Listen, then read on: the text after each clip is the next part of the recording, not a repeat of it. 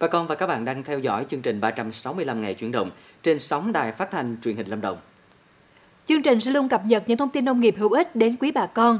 Nếu bỏ lỡ thời gian phát sóng của chương trình, bà con cũng có thể truy cập trang web lâm-đồng-tv.vn hoặc trên kênh YouTube để xem lại. Còn bây giờ, chúng ta cùng điểm qua một số thông tin nông nghiệp sẽ có trong chương trình hôm nay. Lạc Dương tập trung thu hút đầu tư phát triển công nghiệp chế biến, nâng cao giá trị sản phẩm. Phát triển nuôi cá nước ngọt mang lại thu nhập ổn định cho nông dân ở huyện Di Linh.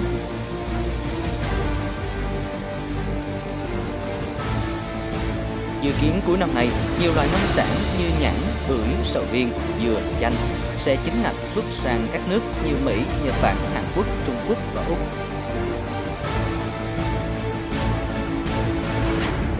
Mục rau ô cóp, đặc sản táo Ninh Thuận, đạt chứng nhận mỗi xã một sản phẩm.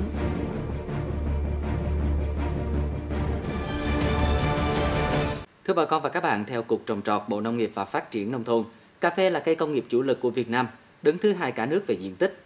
Cà phê của Lâm Đồng cũng từng bước được mở rộng diện tích cũng như là nâng cao chất lượng. Áp dụng các giải pháp kỹ thuật mới về trồng tái canh và ghép cải tạo cà phê, các vùng cà phê trong tỉnh Lâm Đồng đưa năng suất bình quân đạt từ 3,5 đến 4 tấn nhân trên 1 hecta đối với cà phê vối và 3 tấn nhân 1 hecta đối với cà phê chè, tăng thu nhập từ 1,5 đến 2 lần so với trước khi tái canh. Cụ thể, bà con nông dân ở các địa phương trong tỉnh tái canh cà phê vối năng suất bình quân 3 năm liền dưới 2 tấn nhân 1 hecta một năm, hoặc đã trồng tái canh từ 1 đến 3 năm tuổi, đang bị bệnh vàng lá thối rễ. Tương tự tái canh cà phê chè hơn 20 năm tuổi và dưới 20 năm tuổi, lần lượt năng suất bình quân 3 năm liền dưới 1 tấn nhân 1 hecta một năm và dưới 1,2 tấn nhân 1 hecta một năm.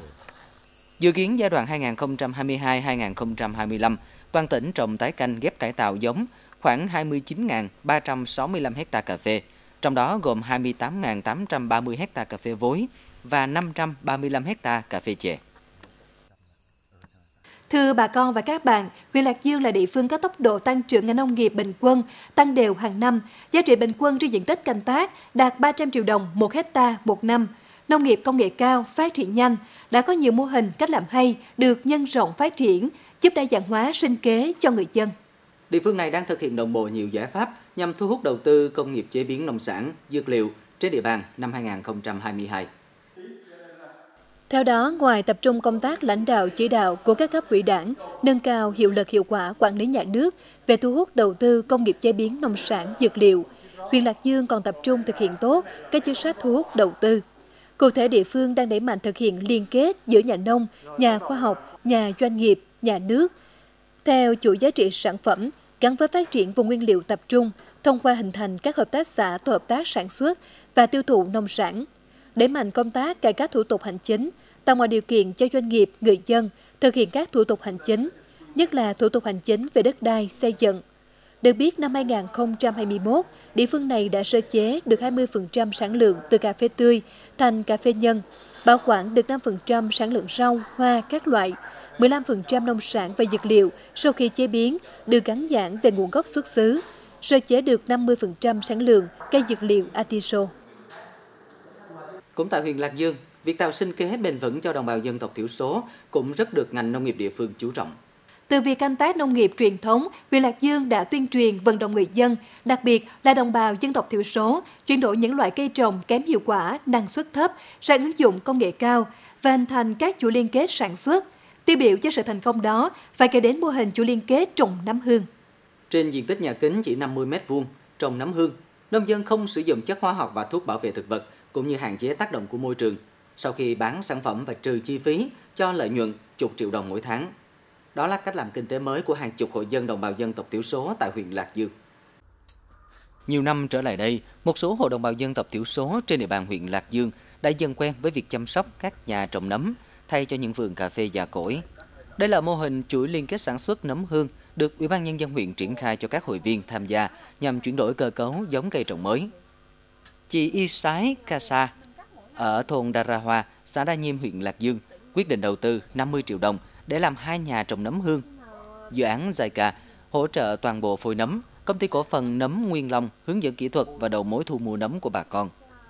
Từ diện tích một nhà nấm ban đầu là 50 mét vuông, đến nay nhà chị Y Sái Casa đã mở rộng diện tích này lên 3 nhà nấm.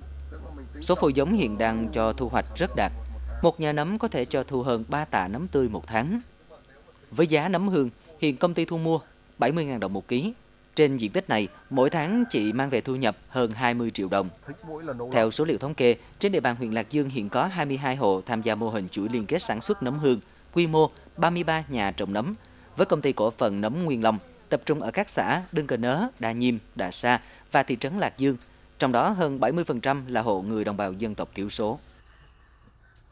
Thưa bà con và các bạn, tham gia mô hình chuỗi liên kết, bà con đồng bào dân tộc thiểu số tại huyện Lạc Dương được các doanh nghiệp hỗ trợ kỹ thuật từ khi làm nhà nấm, chọn phôi, chăm sóc đến khi thu hoạch, đóng gói và cam kết thu mua 100% sản phẩm. Hy vọng chuỗi liên kết nấm hương tại huyện Lạc Dương sẽ có thêm những kết quả phấn khởi trong thời gian tới. Bên cạnh những thông tin về trồng trọt, trên lĩnh vực chăn nuôi cũng đang cho thấy những tín hiệu tích cực. Những năm gần đây, nông dân tại các xã trên địa bàn huyện Di Linh đã tận dụng diện tích mặt nước ao hồ để phát triển mô hình nuôi cá nước ngọt, từ đó mang lại hiệu quả kinh tế khá cao. Tổng diện tích mặt nước nuôi trồng thủy sản toàn huyện Di Linh hiện có hơn 150 hecta với gần 1.000 hộ tham gia nuôi.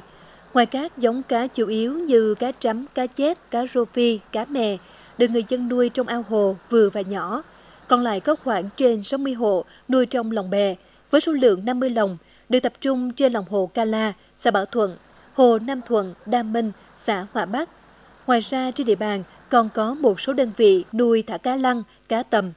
Theo ngành nông nghiệp, tổng sản lượng thủy sản hàng năm thu về trên 1.800 tấn cá các loại.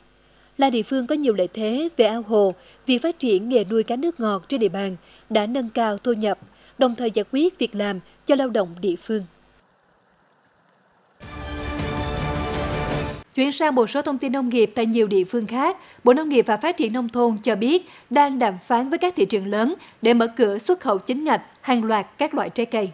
Dự kiến cuối năm nay thì một số loại nông sản như là nhãn, bưởi, sầu riêng và dừa sẽ chính ngạch xuất sang các nước như là Mỹ, Nhật Bản, Hàn Quốc. Theo đó, đối với thị trường Nhật Bản, theo cam kết của chính phủ hai nước, đến tháng 9 sẽ mở cửa cho quả nhãn Việt Nam sang thị trường này. Hiện hai bên đã thống nhất phần kỹ thuật, dự kiến cuối tháng 7 sẽ hoàn thiện dự thảo xuất khẩu và chính thức công bố kết quả. Đối với thị trường Mỹ, hai nước đã hoàn tất các khâu kỹ thuật đối với quả bưởi. Trong tháng 7, đoàn chuyên gia của Mỹ sẽ sang Việt Nam. Cùng với Cục Bảo vệ Thực vật và các nhà máy chiếu xạ trên cả nước thống nhất liều lượng chiếu xạ đối với trái bưởi. Đối với thị trường Trung Quốc, theo Cục trưởng Cục Bảo vệ Thực vật, đến nay Cục đã hoàn thiện các dự thảo nghị định thư đối với trái sầu riêng, đang chờ phía Tổng cục Hải quan Trung Quốc ký rồi gửi lại phía Bộ Nông nghiệp và Phát triển Nông thôn Việt Nam. Sau đó hai bên sẽ thống nhất thời gian công bố. Đối với quả chanh dây, Trung Quốc đang đề nghị nhập khẩu theo hình thức tạm thời giống như quả ớt, dự kiến bắt đầu từ tháng 7. Thưa bà con, trong những kỳ phát sóng trước thì chúng tôi đã thông tin đến bà con rất nhiều cách làm mới của nông dân các địa phương làm giàu nhờ kinh tế nông nghiệp. Chương trình hôm nay sẽ chuyển đến bà con một nghề lạ từ chính tên gọi bẫy cấy của nông dân Hải Dương. Nghề bãi cấy tự nhiên tại các bãi rươi đang cho người dân xã An Thanh, huyện Tứ Kỳ thu nhập tiền triệu mỗi ngày. Mỗi ngày, người dân ở đây đánh bẫy cấy vào sáng sớm và chiều tối. Những gia đình có diện tích ruộng cấy rộng có thể cho thu hoạch từ 15 đến 20 kg cấy. Gia đình bà Phạm Thị Uyển có trên hai mẫu ruộng rươi ở ngoài bãi. Cứ cách một ngày, bà lại ra ruộng đặt bẫy bắt cấy. Dụng cụ bẫy cấy rất đơn giản, chỉ cần nửa chai nhựa, Bên trong bỏ mồi cám sang, thêm ít mắm cá. Khoảng 5 đến 6 giờ sáng, chai nhựa được cắm xung quanh bờ ruộng. Cái người thấy mùi thức ăn bò vào chai nhựa. Khoảng 7 đến 9 giờ sáng là người dân có thể đi thu hoạch cấy. Mỗi lần gia đình bà thu hoạch được từ 7 đến 10 kg cấy với giá 90.000 đồng đến 100.000 đồng một ký. Gia đình bà đã thu nhập được gần 1 triệu đồng. Với những gia đình có nhiều ruộng rươi, nếu chịu khó thu hoạch thì mỗi ngày có thể thu được từ 15 đến 20 kg cấy còn cây sống hoàn toàn tự nhiên ngay trên bờ ruộng rươi. Cái đào hoang như cua, nhỏ hơn cua nhưng lại nhanh hơn cua. Nên để hỏi người đánh bắt phải đặt bẫy đúng kỹ thuật thì mới bắt được nhiều cấy. Nghề bắt cấy mang lại thu nhập cao và ổn định cho các hộ gia đình có ruộng. Đây là nguồn thu nhập thường xuyên bên cạnh nguồn thu từ con rươi. Chính quyền địa phương đã có sự phối hợp với người dân bảo vệ môi trường sinh thái của con rươi và con cấy, đem lại thu nhập chính cho các hộ gia đình ở vùng bãi.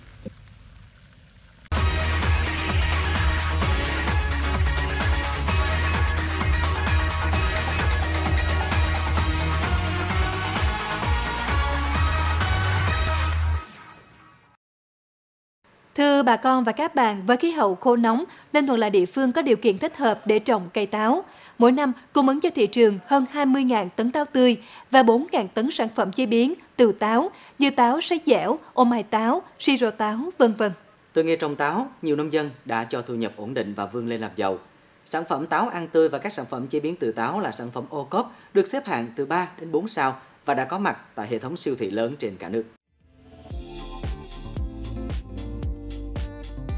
Táo Ninh Thuận được gọi là táo xanh khi chín có màu xanh vàng bóng giòn và có vị ngọt thanh được người tiêu dùng ưa thích.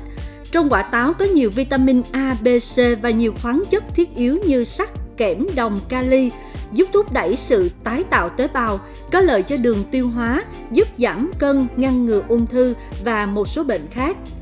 Để phát triển nghề trồng táo theo hướng bền vững, góp phần nâng cao hiệu quả kinh tế cho các hộ nông dân, Sở Khoa học và Công nghệ phối hợp với Sở Nông nghiệp và Phát triển Nông thôn Ninh Thuận hỗ trợ đẩy mạnh liên kết sản xuất táo theo chuỗi giá trị thông qua các mô hình hợp tác xã, tổ hợp tác trồng táo, phát triển các vùng trồng táo theo tiêu chuẩn Việt Gáp, táo hữu cơ, đồng thời tăng cường quảng bá, mở rộng thị trường tiêu thụ sản phẩm. Ông Nguyễn Khẩn, xã Phước Hậu, huyện Ninh Phước, trồng táo đã gần 10 năm nay, được sự hỗ trợ kinh phí từ chương trình đổi mới công nghệ trong sản xuất nông nghiệp. Cuối năm 2018, ông Khẩn đầu tư gian lưới toàn bộ diện tích ba sào trồng táo của gia đình. Sau khi bao lưới, tỷ lệ ruồi vàng đục quả giảm rất nhiều, tỷ lệ táo hư hại không đáng kể. Phải bao lưới là nó kêu là táo sạch. Cái, cái thứ nhất, cái thứ hai nữa là khi mà bán á, là cái táo bao lưới thì nó đạt hơn là cái táo không bao lưới tại bà con người ta mua tiêu dùng là người ta còn cái, cái táo sạch. Công ty uh, trách nhiệm sản xuất thương mại nông sản Thái Thuận Ninh Thuận thì uh, kinh doanh chủ yếu các sản phẩm mà nho và táo, uh, những sản phẩm đặc thù của địa phương. Trong đó các sản phẩm nho táo tươi thì chúng tôi đã kinh doanh vào các hệ thống siêu thị hoặc là các cửa hàng sạch hoặc là online thương mại điện tử. Sản phẩm táo sấy thì chúng tôi có một cái sản phẩm à, táo sấy và siro táo. Trong đó các sản phẩm táo sấy của công ty đang được khách hàng ở trên thị trường ưa chuộng. Tôi cảm nhận là những sản phẩm ở đây khá là chất lượng cũng như là mẫu mã và các sản phẩm rất là đa dạng đặc biệt là táo sấy nếu như có cơ hội thì ờ, tôi sẽ ghé lại đây thêm vài lần nữa cũng như là những cái món quà này cũng có thể mình sẽ làm mua để tặng quà cho người thân. Để nâng cao giá trị kinh tế từ cây táo, tỉnh Ninh Thuận đang mở rộng vùng sản xuất táo theo tiêu chuẩn Việt Gáp, canh tác theo hướng hữu cơ để nâng cao chất lượng sản phẩm sau thu hoạch, đồng thời đẩy mạnh liên kết bốn nhà để thực hiện tốt từ khâu sản xuất, đăng ký thương hiệu, tìm kiếm đầu ra sản phẩm, tiếp tục đa dạng các sản phẩm chế biến từ quả táo nhằm đáp ứng nhu cầu đa dạng của thị trường, qua đó góp phần nâng cao thu nhập cho người dân.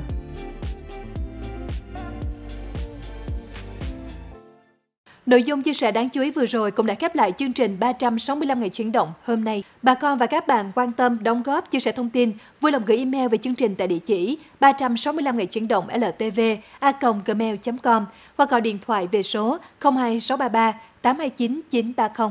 Còn bây giờ thì Xuân Long và Hải Yến xin chào tạm biệt. Hẹn gặp lại bà con và các bạn vào các chương trình sau.